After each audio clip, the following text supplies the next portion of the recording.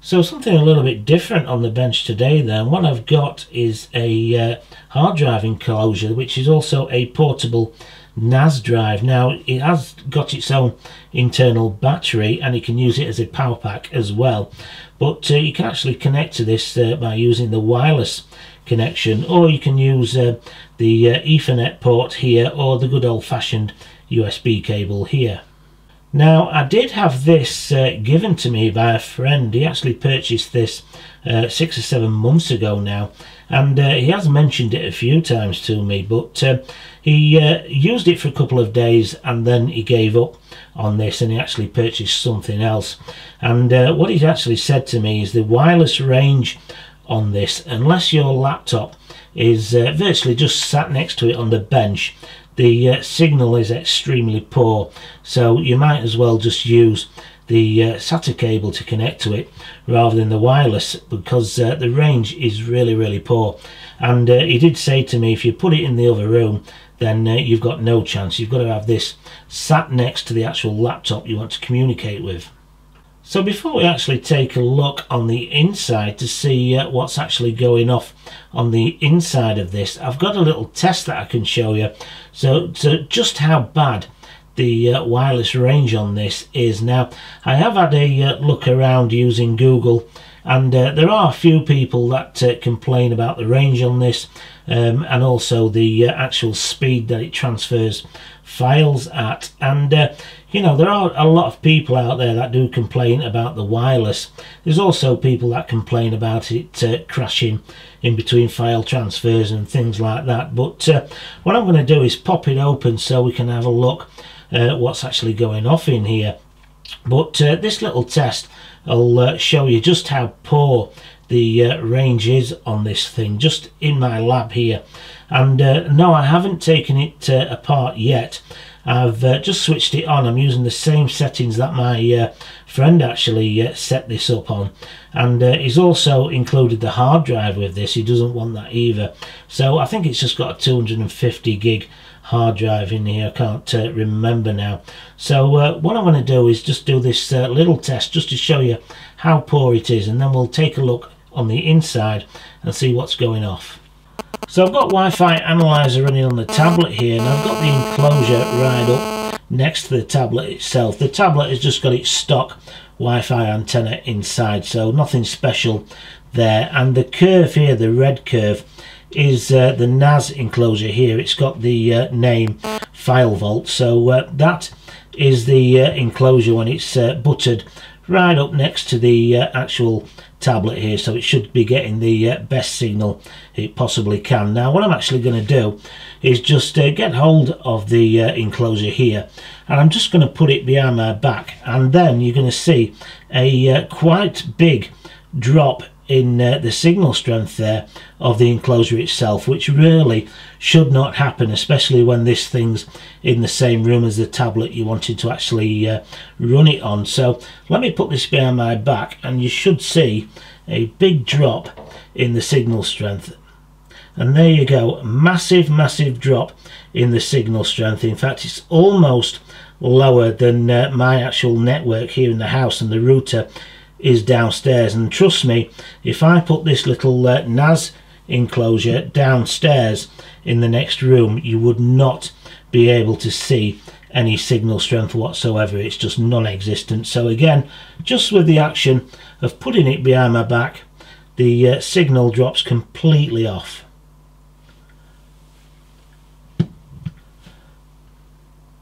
Well, there's definitely something not right there. Just with the action of me putting this behind my back should not cause the uh, signal strength to drop off like it is doing, especially when it's still in the same room as the tablet. It shouldn't affect it like that, just with the action of me putting it behind my back.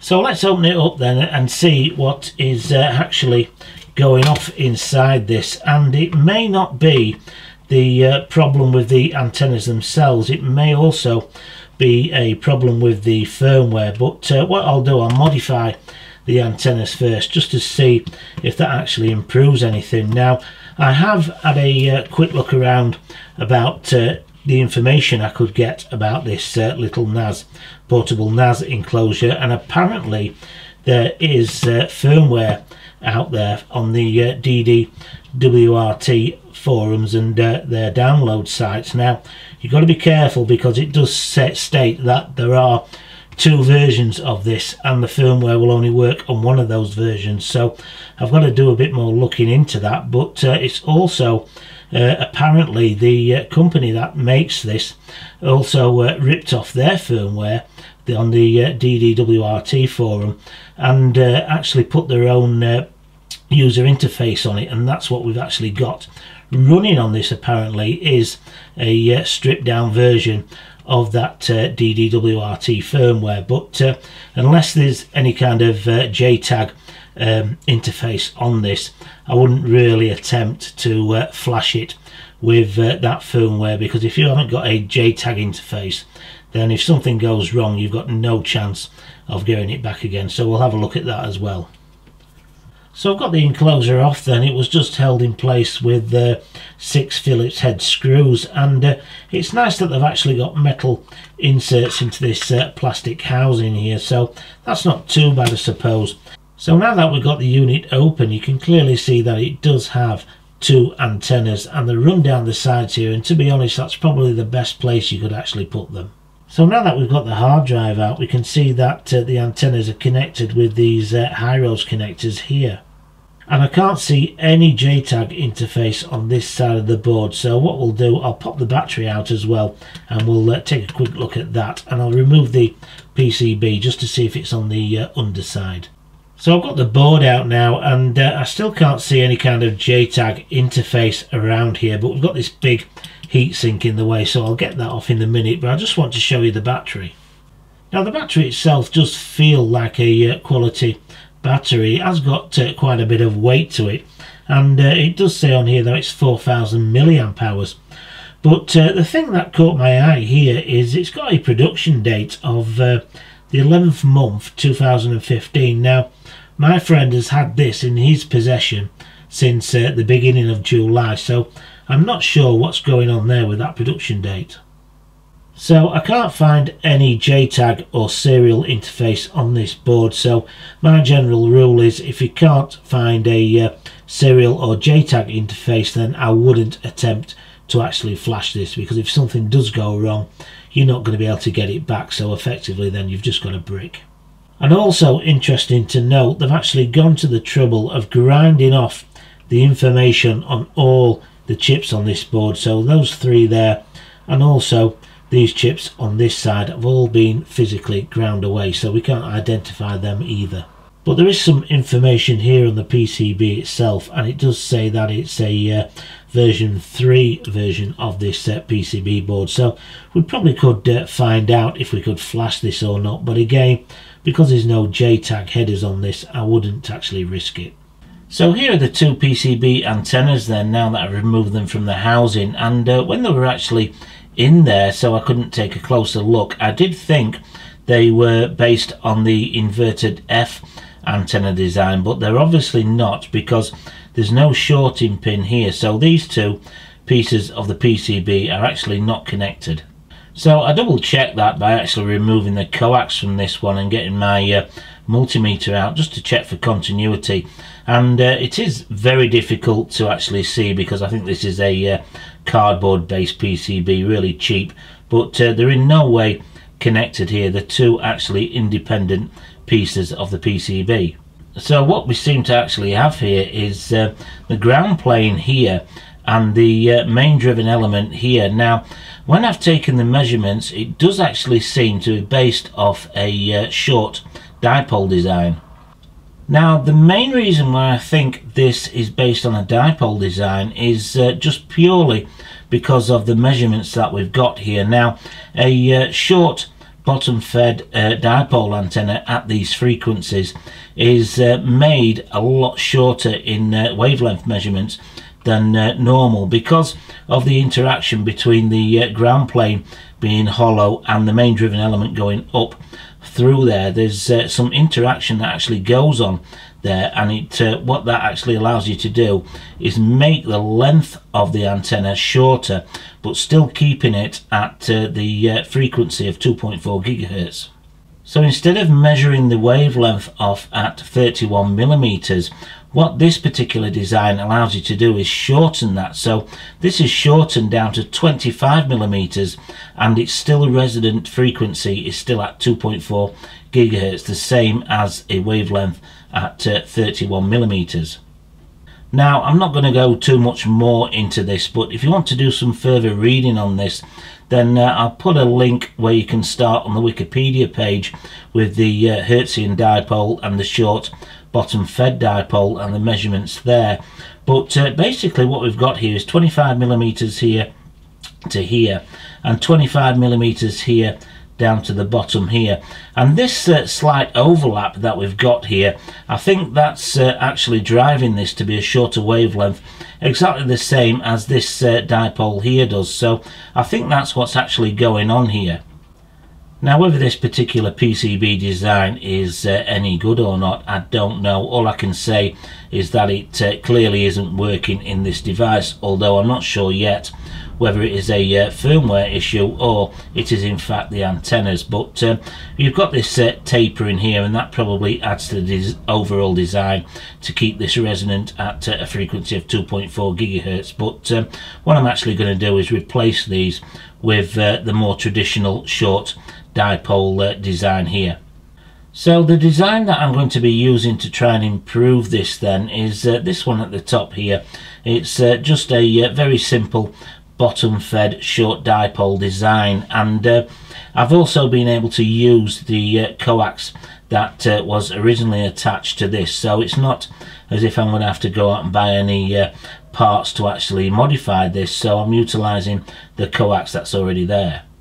So a quick overview of this design then it's a uh, short bottom fed dipole design and uh, what we've got here are strips of uh, copper tape actually running down the sides and along the bottom of this. These three strips here are actually connected and form this long uh, U-shaped pattern and uh, the length from here to here is uh, 25 millimeters which is a quarter wavelength to this particular design. And the main driven element runs up through in between uh, these two uh, pieces of the ground element here. And uh, there is uh, some interaction that goes off there which enables you to actually make this design slightly shorter than it would be normally. And uh, here we've got the start of the actual driven element where it leaves these two uh, planes here. And measuring from here to here is exactly 25 millimeters which again is a quarter wavelength so as I say, I'm going to try this first just to see if it was a problem with these uh, antennas themselves that was giving us such a weak signal. So uh, this is a really easy design to do. I've just used some cereal box cardboard and some uh, thin strips of copper tape.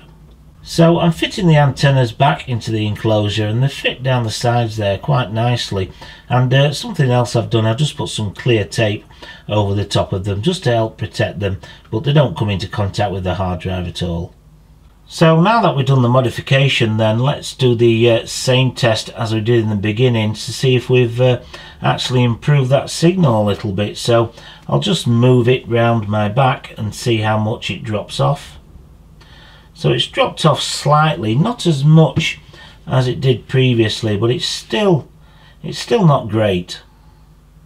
So I'll just do that again just to see if it does and it does drop down not as much and uh, yeah it's still a better signal than it was originally but it's still it's still poor it still drops down quite a bit just with the action of me putting it round my back. And at the end of the day I'm in the same room with both devices. It shouldn't affect it that much.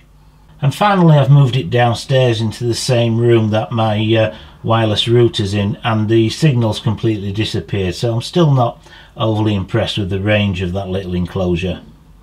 So to conclude this uh, video then yes we have improved the range somewhat of this uh, portable NAS drive by uh, modifying those antennas.